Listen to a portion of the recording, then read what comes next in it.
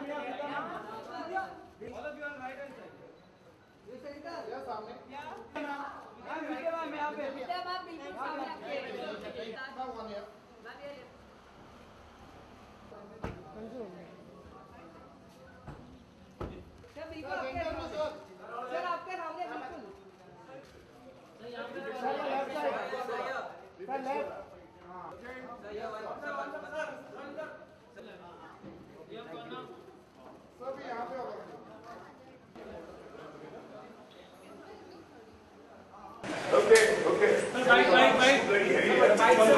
ये जो अवार्ड मैंने अपना हंसल को हैंडओवर किया है, वो इसलिए किया क्योंकि वो एहसास जो मेरे अंदर एक जमाने में मौजूद था, जिसने सारांश बनाई, अर्थ बनाई, जख्म बनाई, वो आज मुझे हंसल के अंदर नज़र आती है।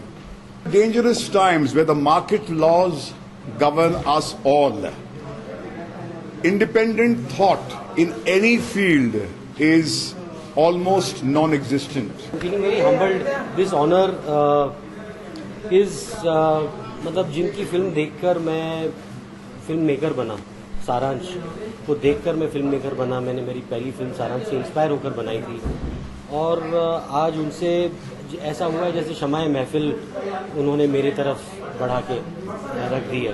तो वो मेरे लिए मतलब मैं बयान नहीं कर सकता हूँ। अभी मतलब ये मोमेंट ऐसा है कि इसमें आज उनको मतलब फ़िल्म फेयर अवार्ड से सम्मानित किया गया है। और आई थिंक ऐसा कभी इससे पहले हुआ नहीं है कि सेरेमनी के बाद किसी को इतने बड़े अवार्ड से सम्मानित किया गया। और भट्ट साहब ने अपना अवार्ड उन्हें दिया I think it is I think it will go in the history साथ ही साथ प्रेशर अभी हंसल में भी शायद आप पे भी आ जाता है नहीं आप, हम आप नहीं नहीं हम लोग कभी किसी कुछ प्रेशर फील नहीं करते अगर प्रेशर फील करते तो तो ऐसे कुछ नहीं बना पाते जैसे बनाने की मेरा वो ऐसे बिना किसी प्रेशर के इंडिपेंडेंट थॉट के साथ ही बनाई जाती है It is an historic moment, and I'm really grateful that I'm part of this historic moment. And it is so amazing to see, you know, uh, a person. You know, awards are so, so special, but uh, Bhatt is so. Um, he's he's so. Uh, he doesn't want to keep anything. He's a giver, basically.